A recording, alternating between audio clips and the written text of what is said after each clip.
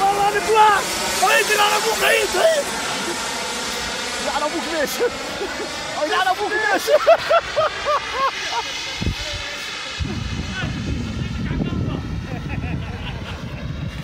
يا الله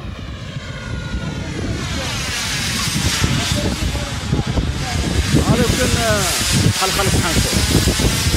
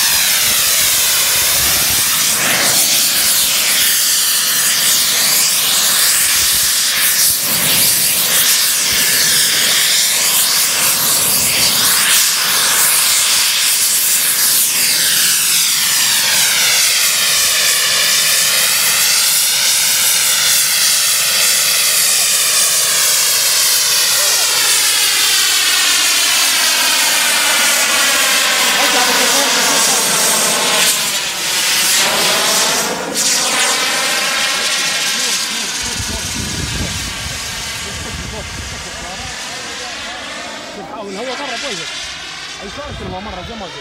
جيبها وأنا بيكون قدام وهي بوجهك